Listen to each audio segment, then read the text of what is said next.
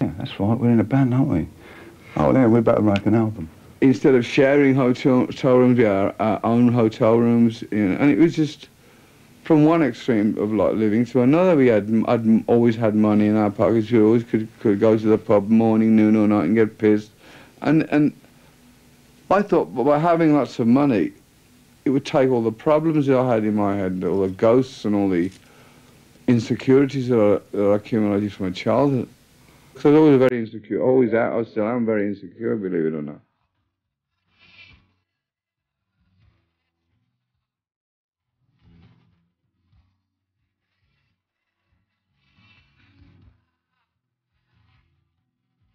The band began to spend more time in America and indulged in the rock and roll lifestyle to the full.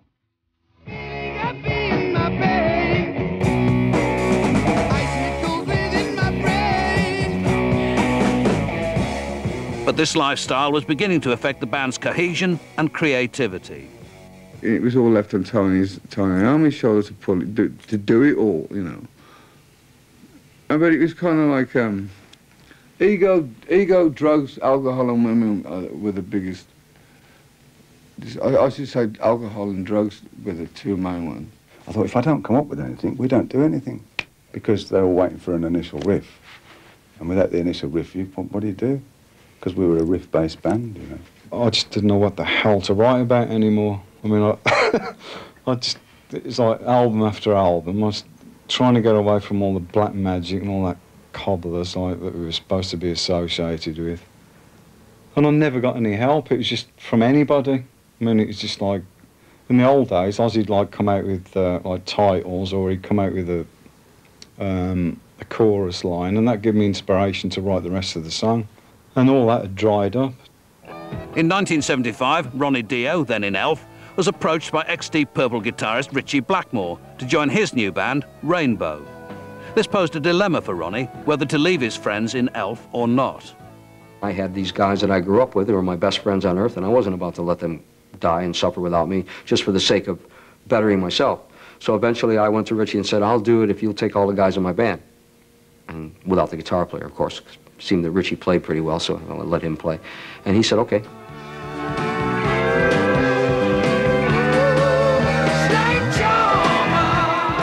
After only one album, Ritchie wanted to change the lineup, getting rid of the old Elf members. Oh, so he actually played with Elf on the first album. It was just Elf and you, and he hated that. He really hated it, which is probably one of the reasons why a lot of the people were gone after that, you know. We get rid of that Elf stigma. I'm the one who had to tell them all. So it was a very personal thing for me. Uh, Ritchie is a person who tends to let other people do his work for him, whether it's dirty work or clean work. Um, and so he allowed, allowed me, he kind of forced me to have to do that. It was very hurtful for me. These were my best friends, guys I grew up with, you know, from little kids, and our dreams were, my dreams were their dreams, their dreams were my dreams. So it was very hard to, to puncture that.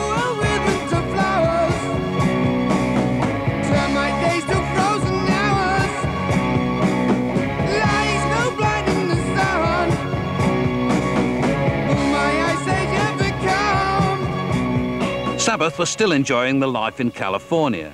How far the band had travelled from their roots only came home to Geezer Butler when he went back to Birmingham. I got back to the girl I was living with in England, and I couldn't speak to her. I'd just changed so much. And she's, I always remember she was like, what's the matter with you? And I said, I just can't stay here. I cannot stay in England anymore. It's, there's nothing here for me. And I couldn't face my parents or anything like that. I was just like drugged up to the max. The drugs had just taken over the band. I think we all felt that, you know, that we'd lost our edge. We, were, we weren't working class backstreet kids anymore. I've been in so many rehabs and drug addiction and alcohol addiction clinics. Mean, I got the Egon, Egon Ronay book, book of uh, treatment centres, and I can tell you which is good, which is not, which is good.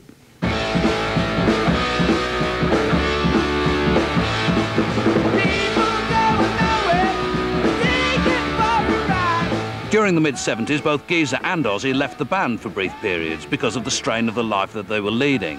But the band's friendships and the continuing success they enjoyed kept them together.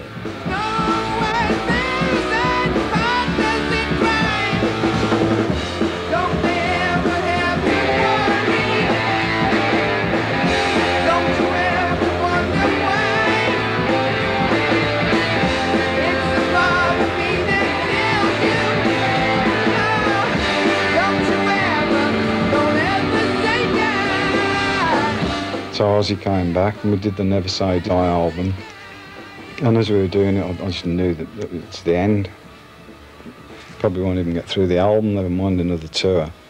You just could feel it that we needed a change. Somehow, somewhere, there was going to be a change soon.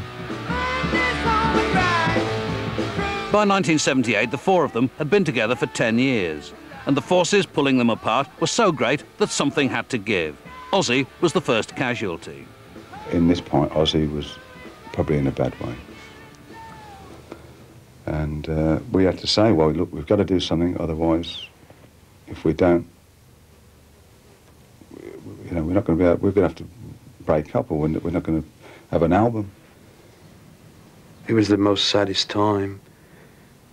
Um, it was me that talked to Ozzy and uh, said, you know, a decision's been made uh, to move on without you.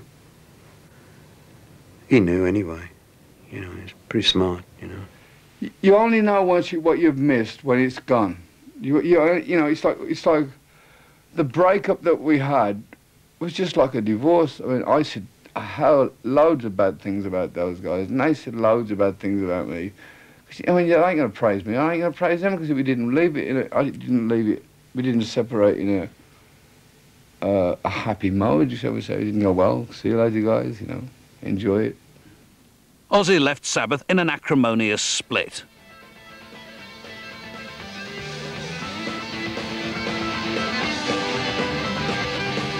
Back in Rainbow, Ronnie Dio had stayed for three albums and several lineup changes, but in the end, he and Ritchie Blackmore fell out. obviously two very strong characters, and I think something was inevitably bound to give. I think Ronnie wanted to do his own, be instead of being part of Ritchie's band. I think Ronnie Ronnie wanted to have his own band and wanted to be the focus of attention. So, I think uh, inevitably they were going to there was going to be a problem at some point. I was asked to start writing love songs and poppy things, and I don't do that. And I refuse to do that. So, bye. That was it. Clean and simple. Nice clean break. See ya. Your elbow too. Your turf. See ya, mate. And then that was me. You know, I was gone. I mean, it was Ritchie's band, and he had the right to do whatever he wanted to do. So he got someone else in who was willing to wear what he wanted to wear. Ronnie wasn't out of work for long. With Ozzy gone, Sabbath needed a new singer. But I spoke to him on the phone, and I met him over at, at Don Arden's house at a party. We spoke about things. And so uh, I said, do you want to come over and have a, have a play with us and see how we get on? you know, my first opportunity to meet Tony in, in the flesh and Geezer and Bill. And we got along really well. Went out into the uh, rehearsal room and uh, Tony showed me something and I, we wrote a song called Children of the Sea that night. In the misty morning. We liked his voice, and we liked the way things were happening. And we were managing to be able to start writing material again. And it was happening quick, so um, that was the bottom line. We wanted to make an album. We had to, we had to carry on.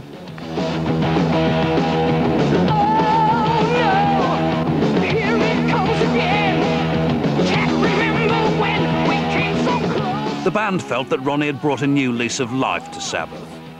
I loved the stuff that Sabbath were doing then.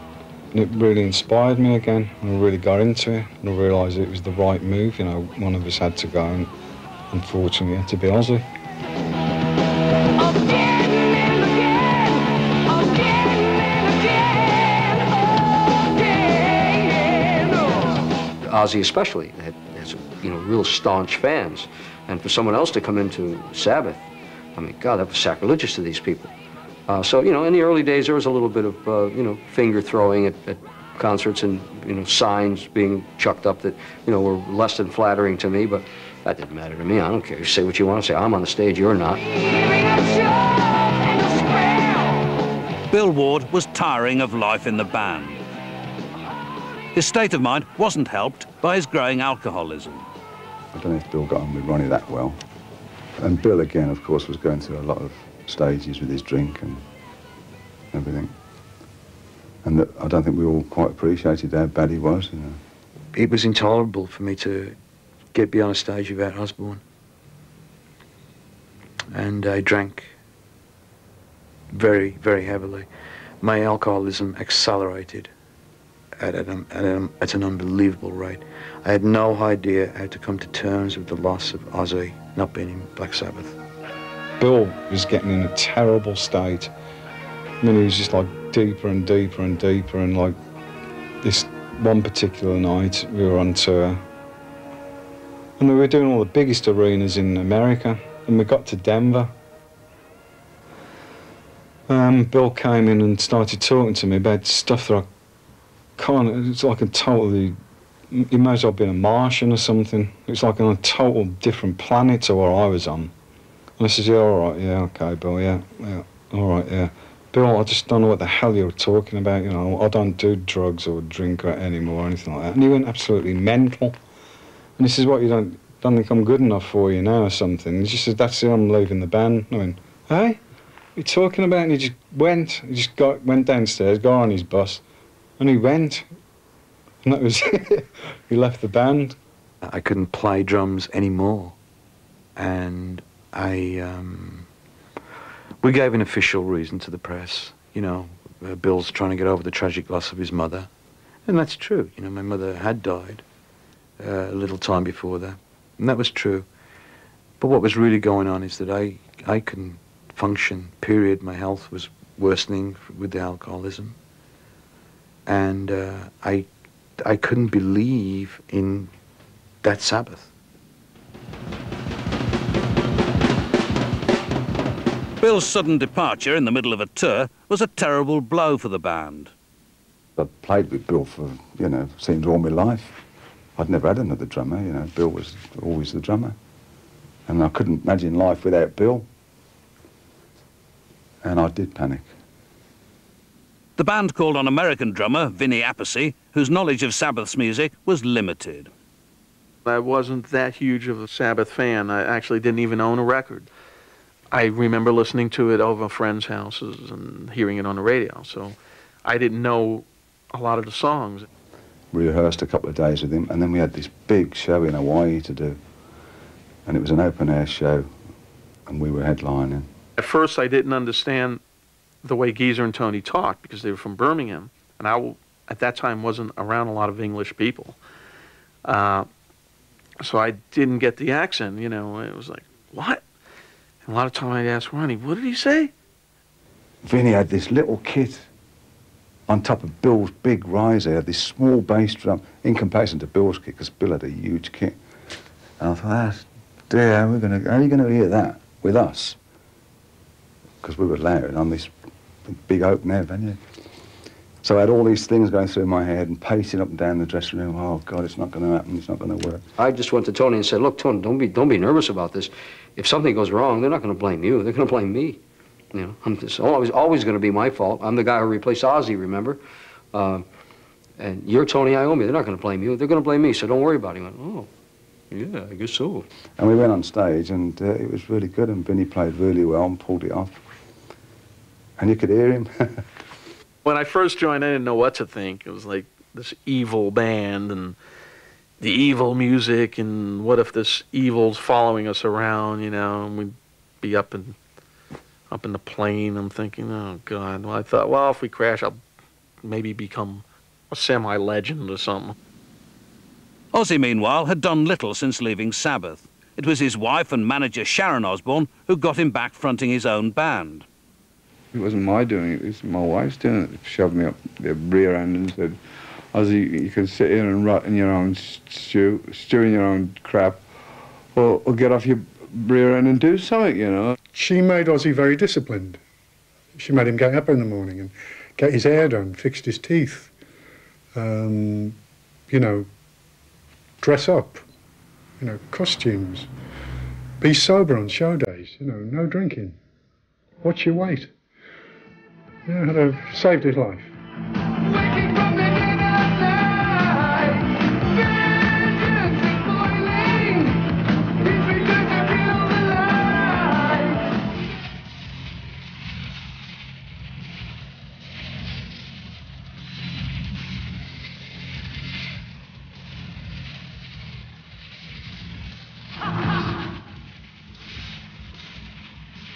Sometimes I'll go to Sharon, do you think that's a good idea? She goes, Ozzy, trust me. That's her favourite line. I go, yeah. Not all of Sharon's ideas have, have worked out, you know. Some of them have been abysmal failures. And one of the things was this big hand comes from under the drum riser, and I'm crouched down in the side, and here in the, it's like a sling with all these bits of meat and sheep's testicles and eyeballs and what in it. It's got, I've got to put my foot on this on this lever, which is attached to a big elastic band. It's supposed to fling all this offal into the audience.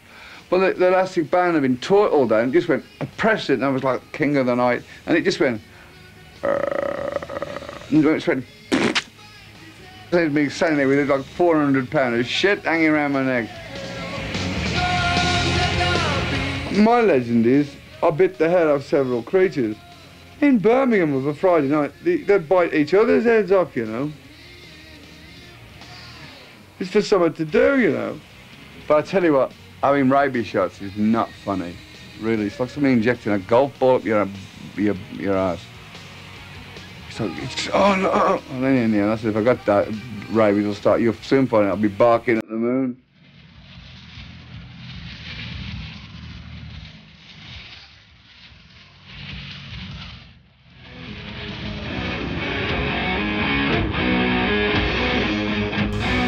In Sabbath, the lineup of Tony and Geezer with Ronnie Dio and Vinny Appice lasted for two albums before trouble arose. The problems centred around mixing a live album. The engineer who was uh, doing the product um, was drinking a lot. And he would tell Tony and Geezer that Vinny and I were going into the studio and turning up the drums and the vocals.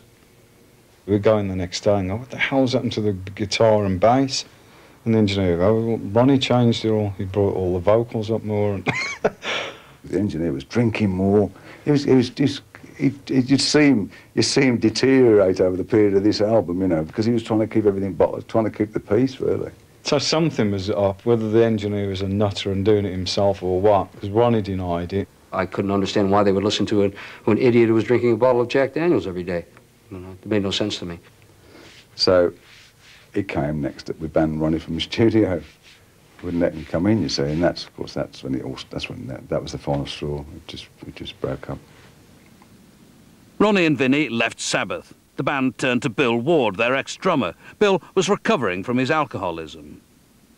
At that time, he'd started trying to get himself together, and he was um, he'd gone to AA, and he was in detox. And we called him. We said, "Come and you know, do the drumming on this new album." And Bill said, "I don't know whether I can handle it. You know, I've got to stay in detox until I'm well enough." So I said, oh, "Come on, you'll be all right." I had just enough energy to go to England and go to Oxford and uh, record at the Manor Studios the album Born Again. For a singer, the band recruited Deep Purple's vocalist Ian Gillan and recorded an album called Born Again. For drummer Bill Ward, that was an achievement in itself. That was the very first album ever in my life that I played clean and sober. I was totally there, totally sober. And um, and then I drank again because there was going to be a tour uh, to follow that up. And uh, I tried to get along with the idea of Ozzy not being there. Let's try this with Ian. And I started becoming in a lot of fear. And I was unable to share the fears. Instead, I drank behind them. It was his six months that he's been stopped drinking, so I went out and bought him a plaque, you know, Bill Ward, uh, six months and stopped drinking, congratulations, so on. I got back to the bloody house with it, and he was drunk. And I couldn't believe it. I went, oh no. And I came back to America and basically lived on, on the streets. And um, until I became so ill again that I was uh, that I was ready to go into a hospital and um, get you know try and get well. And that was uh, I went back into the hospital in uh, January the second, I believe it was, or the third, 1984. And I haven't had a drink or a drug since. Sabbath got Bev Bevan of ELO fame to drum for the Born Again tour. The band made plans for the stage show to take the LP on the road. We got to see LSD, Light and Sound Design, that's the name of the uh, production company. And the guy says, anyone got any ideas about a, a stage set? What would you like to, any inspiration? We went, Something earthy maybe, I don't know. And Geezer said, Stonehenge. And the bloke said, well, that's a brilliant idea. How do you visualise it? He said, life size, of course. Stonehenge came down. It's three times bigger than the original Stonehenge. We had to hire the NEC for rehearsals. It's the only place where it would fit, and that and that was without the stage. Everybody's going, "Nah, it'll be all right in America. The places are bigger over there. We'll still take it with us." So we took it there, and the first gig was uh, this place in Canada. We couldn't even get it in the doors in this place, and one put it on the stage. The set was scaled down, and only three stones were used from then on. The show also featured a dwarf playing the part of the demonic baby who graced the album cover. Suddenly, the dwarf appears in a crimson leotard with yellow fingernails and yellow horns and fangs, doing a, an impression of the baby on the front of the album cover. So it is on the top of the, the, um, the Stonehenge, about 30 feet in the air, and miming to the sound of a baby screaming. But this sound has been flanged, phased, and it's, it's all sounds unearthly, and, and we're all going, this is awful.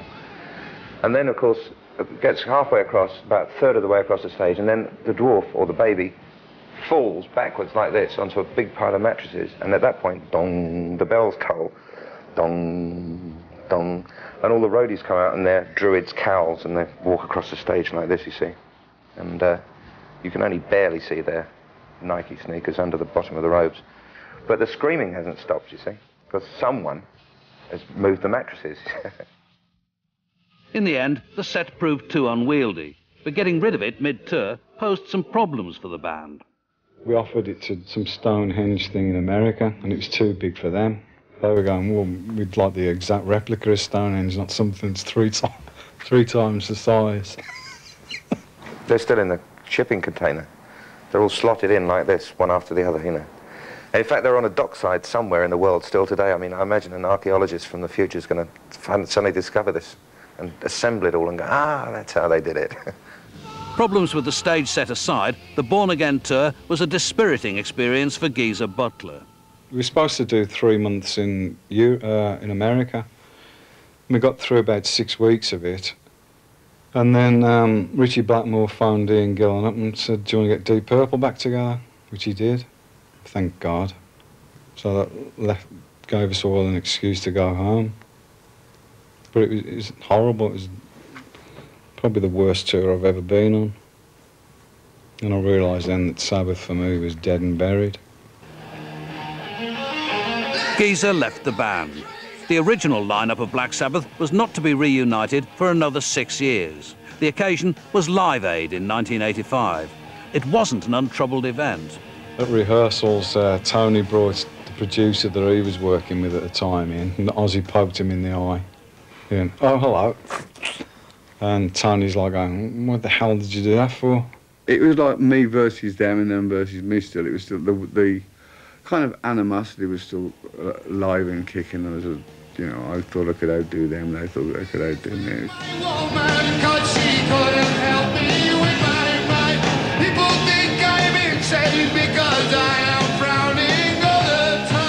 It was nice showing up, nice doing it, but uh, that was it as far as I was concerned. Um, the idea of the fact that the band could actually perform together or do something together at that time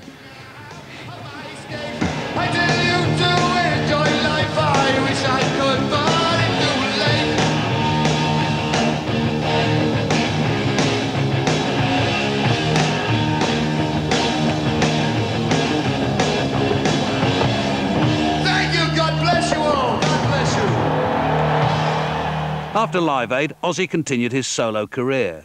Ronnie Dio, having left Sabbath back in 1983, had formed a band in his own image. It was called Dio. I could finally be, you know, the leader that I was was all these times anyway. But I didn't have to, I didn't have to buffer that being a leader by patting people on the back and saying, "Oh, yes sir, no sir, three bags full. You're wonderful today." Didn't have to do that anymore.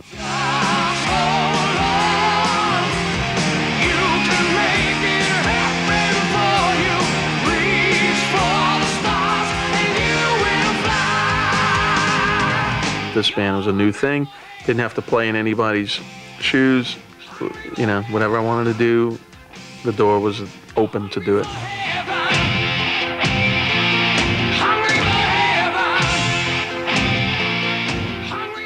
My attitude has always been a band has to be a democracy with a dictator. Has to be. If you can let it be democratic so people are getting their say in, and you're, you're using the best of what they have to contribute as people, as, in, as musicians. But someone at the end of the day has to say yes or no. If not, well, what do you think? Well, I don't know. Well, then you become an I don't know band. And I don't know bands go nowhere. Despite having his own band, when Ronnie got the call to rejoin Sabbath, he decided to get back together with the group. He was reunited with Cozy Powell, but relationships were strained from the beginning. We went to the States to do some rehearsals and it didn't particularly gel the first first couple of months. It, the, the, the chemistry wasn't quite right for whatever reason. Again, the communication problem came up again. We didn't really communicate. So when any problems did come up, you know, it was a matter of people hiding behind doors and you know, hearing it from other people. This is wrong. That's a problem. Well, was anybody going to tell us all about this? Are we going to talk about it as people? No, we never did. I came back to England and went down to a horse show just near where I live, and I had a, a horse promptly fall on top of me, breaking my pelvis, and that was me out of the band. And that's when we got Vinny back to do it. And once Vinny was back, Ronnie felt comfortable. So then he was started being able to write, you know, come up with ideas then. But it still took, it was still pulling teeth doing that album. Midway through the tour that followed recording the album, the band were invited to play with Ozzy Osbourne at one of his solo concerts. It was an offer Ronnie wasn't about to take up. I especially gave up too much of what I had with the Dio band uh, to suddenly be relegated to being the opening act for uh, the ex-lead singer, again, who had nothing but bad things to say, certainly about me, but about Tony as well, and Geezer. So just wasn't in the cards. I wasn't going to be on the same stage with the man. The band, featuring the four original members, took to the stage for the first time in years.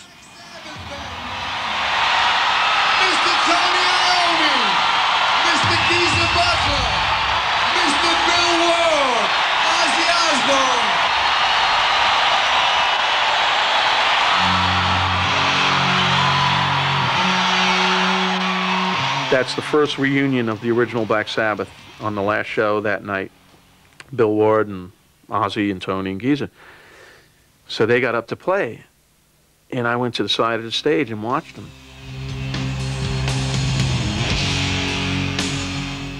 The power on the side of the stage of Tony and Geezer, and this is even before Ozzy sang, I couldn't believe it. It was like a monster, a wall of sound. I just stood there and was amazed, like, wow, no wonder kids go crazy when they hear this.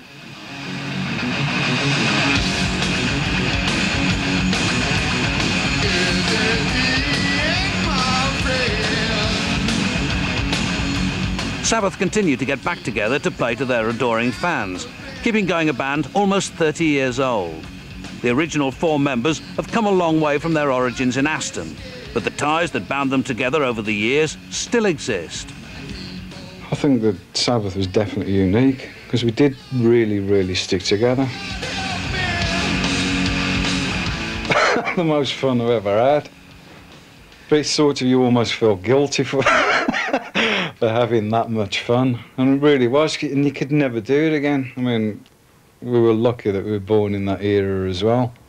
You know, it was all, it was still all new, and it wasn't faked, and it wasn't pretentious or anything else.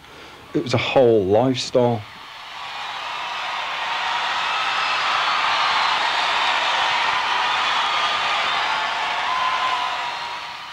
I don't know, we were working class heroes, if you like. I mean, we weren't born into it. We, we had to, we, we got, you know, somebody rolled the dice and our numbers come up, you know.